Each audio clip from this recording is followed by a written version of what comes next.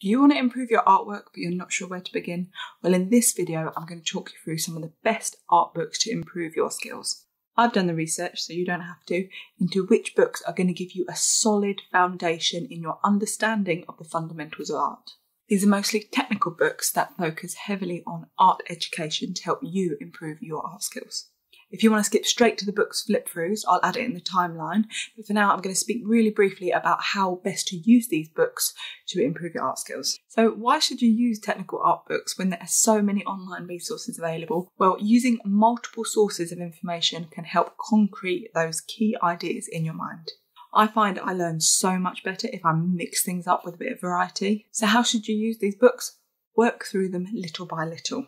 Go through one topic at a time. And when you have finished that topic, the most important thing to do is practice. Approach them like a workbook where you can. A lot of them are filled with practice exercises for you to carry out. We need to be able to apply these learned concepts to our own artwork. It is so tempting to just binge on art learning information, but that's not the most effective way of learning. I'm guilty. I've done it. I've spent three hour sessions watching art videos on YouTube and not practice the thing afterwards. Just binging on art tutorial videos, for example, can give us the illusion that we're improving and make us feel good in the short term. However, in the long term, we're not actually putting these skills into practice, so our artwork's not going to improve. So, for now, if you spend about 25% of your time researching and learning, you need to spend the other 75% actually practicing that skill that you're trying to improve. So, for example, 15 minutes learning, 45 minute practice. And actually, it should really be more like 10% learning, 90% practice. And as you become even more advanced, the amount of practice would grow even further. For these books that I've bought, as a general rule of thumb, if they are full of colourful illustrations, I bought them physically. If they're just black and white, I bought them digitally. So let's dive into the books. And if there are any key books you think I've missed, please put them in the comments below. Just go get the books. God. These would be said books. We have Art Fundamentals, the second edition, by 3D Total Publishing. This book covers the art fundamentals. It includes light and colour, perspective, shape and depth, composition, storytelling within a single image, and how to convey emotions in your artwork, as well as anatomy. The artwork here is mostly digital, but there are some traditional and also a lot of pencil drawings, particularly for the anatomy section. The ideas here apply regardless of your medium of choice, but it's mostly aimed at concept and digital artists. There are lots of beautiful examples of artwork from the gaming and film industries in this book. It also goes into detail of why the images work well based on their use of the art fundamentals like composition, colour, and light, for example. There are lots of examples of different artists' work in this book. It really is truly beautiful. I really like at the end of each section, there is a page called Fundamentals Applied, which gives a detailed case study of an artwork where the artist talks you through their entire creative process. Overall, I feel like this is a really good start for beginners in understanding the fundamentals of art. Colour and Light by James Gurney, a guide for the realist painter. If you want a deep dive into colour, this book covers it all for you. James Gurney is the creator of Dinotopia, which is jam packed with beautiful, imaginative storytelling. This book really is the manual on understanding how to use colour in your artwork, particularly for storytelling. It conveys so many aspects of colour and lighting. For example, it covers shadow types, light sources, it totally rethinks the colour wheel, it looks at different pigments and their light fastness, as well as colour relationships like triads, monochromatic schemes, warm and cools. There is so much depth to this book. It even goes into atmospheric effects, which can help add emotion and feelings to your image. This is the book that you will use for reference time and time again. Imaginative Realism How to Paint What Doesn't Exist, also by James Gurney. My best way to describe this book is just pure fun. This book really takes a step away from the fundamentals of art and focuses on just how to be creative and create imaginative artworks. It's also about making your artwork believable, even if it's all fantasy images. The reason I think this book is brilliant for beginners is that it also includes a section on preliminary sketches. It will talk you through how to develop a concept from an idea all the way to a finished piece by utilising specific techniques such as thumbnail sketches, value studies, storyboarding, and colour experiments, all leading to a better final artwork. He also really focuses on researching your subject to help you portray that convincing story with your image. This is definitely a book to get your creative juices flowing. Keys to Drawing, Bert Dodson. In this book, the author breaks down drawing topics into lessons which he calls keys. He then presents these as step by step, so it's really easy to follow. He names 55 keys to drawing, which is quite a lot, but the reason why I think this is so helpful is because it has so many actionable exercises which really encourage practice. Its aim overall is to help you draw confidently no matter the subject you're drawing. It goes into some detail on using measuring techniques and making confident marks on the page. It also emphasises drawing from the shoulder and elbow for controlled lines. Fundamentally, this book aims to help you draw more accurately from life. The Complete Book of Drawing Essential Skills for Every Artist by Barrington Barber. That's a strong name, isn't it? Barrington Barber. This is an alternative, or ideally an addition, when using the Keys to Drawing book by Bert Dodson.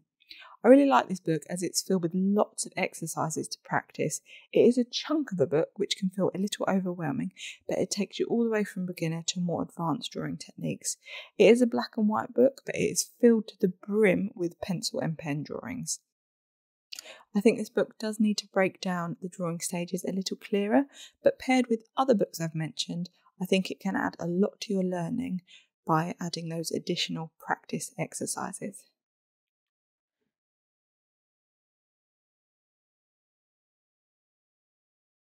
Perspective Made Easy. This is a black and white book filled to the brim with drawings. Ernest Norling is like the daddy of perspective. He really simplifies teaching perspective into an easy digest format.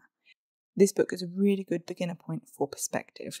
It teaches horizon lines, vanishing points, and basic techniques to construct buildings and objects in perspective. It also touches on shadows and shading, as well as placing figures and objects in perspective drawing, which I found particularly helpful. This book is quite repetitive, but I think that's deliberate to help the information sink in. This really will give you a good basic understanding of perspective. I think this book follows on really well from Ernest Norling's book. I'm waiting for my Amazon delivery of this book, so I'm not actually able to show you a flick through. The delivery drivers really struggle to find my house, and I have to go to about five different neighbours to get parcels sometimes. I'm not dissing my postman though, my postman is awesome. His name's Neil, I have a really good chat with him. Uh, you don't need to know this, so back to the book. So, this book by Scott Robertson focuses on technical drawing and design and really simplifying complex objects into simple shapes. It focuses more on complex perspective techniques as well as using, for example, perspective grids.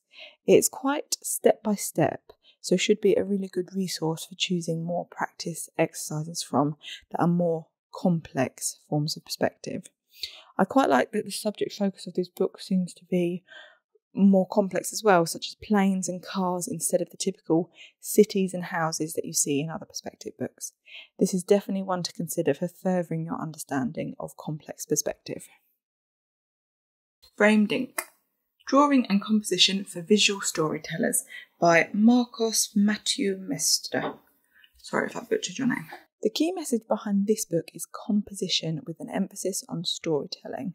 It focuses on how understanding composition is important in getting your ideas across, as well as how it makes illustrations engaging to the viewer. Fundamentally, it is about composing a single image and how to arrange the elements in that image, as well as the lighting, with purpose to portray the emotion you're trying to get across. It also touches on how to compose for continuity if you're doing, for example, multiple related artworks. The examples are so fantastic throughout this book, you can understand them without even reading the text. And another two books that are in my to buy pile are Framed Perspective, volumes 1 and 2, by the same author as Framed Ink. The first volume focuses in detail on perspective, and the second volume covers shadow and characters. I'm waiting to buy these until I finish both Perspective Made Easy and How to Draw by Scott Robertson. Beyond Art Fundamentals, a guide to emotion, mood, and storytelling for artists. This book follows on from the Art Fundamentals book by 3D Total Publishing. It differs in that it is deeper. It looks at how artists combine the techniques of the fundamentals of art into a finished piece.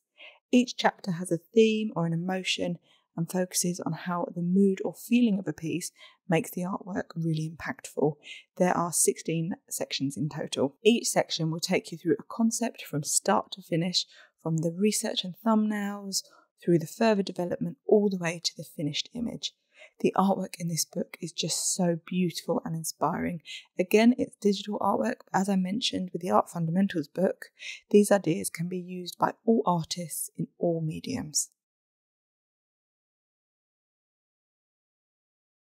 Anatomy for Artists by Sarah Simblet. There are so many books on figure drawing anatomy, it was really hard to whittle them down. Understanding anatomy is really important for figure drawing accurately. Why this book drew me in is because it has lots of high quality photos and diagrams, not just drawings. There are actual photos of real body parts, even the genitals. Shock horror. So many anatomy books skip the genitals like they don't even exist.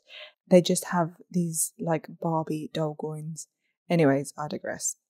This book shows you muscle groups and skeletal structure, but isn't totally overwhelming like some anatomy books I've looked at. It also has practical drawing lessons on how to draw different parts of the body. The overlays in this book are like almost a tissue paper, and they're really lovely at showing the skeletal anatomy on top of real body parts. It would be nice if there were muscle overlays, but we can't have it all in life. Overall, I feel this is a great starting point on anatomy for beginners and beyond. If you wanted something more detailed, you could go for Classic Human Anatomy by Valerie Winslow, which I will be purchasing when I find a cheap enough secondhand copy. Figure drawing for all it's worth. There's a lot of incredible Loomis books, but the first one I'm going to focus on is Figure Drawing for All It's Worth. Loomis breaks down figure drawing in a simple to understand way. He clearly explains his method on how to really see the figure and construct it on paper in the correct proportions. He also gives plentiful examples of different poses, highlighting the full range of movement of the human body. Another thing he's really good at is explaining how to use perspective to create realistic looking figure drawings. And he has a section for both nudes and clothed figures, as well as touching on shading as well. Some people say this book is outdated because of the drawing style, but I say it's a classic. I will also be investing in other Loomis books, particularly the one on hands and the head. Figure drawing, design, and invention. I feel like this book follows on really well from the Loomis book. A lot of anatomy and figure drawing books are all very technical, but this book really breaks it down into looking at the body as masses and landmarks.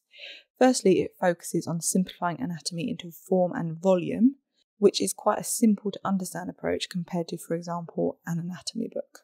He does delve into muscle groups like an anatomy book would, but he does so in a colour coded and really bright way. And I think this is really good at helping us highlight the form under the skin when we are trying to draw it. I think pairing this with an anatomy book gives any beginner a really good foundation to get started in figure drawing. And there we have it. Those are all my top books for beginners and beyond. I really hope this video has been helpful. Good luck with your art practice and I'll see you in the next video.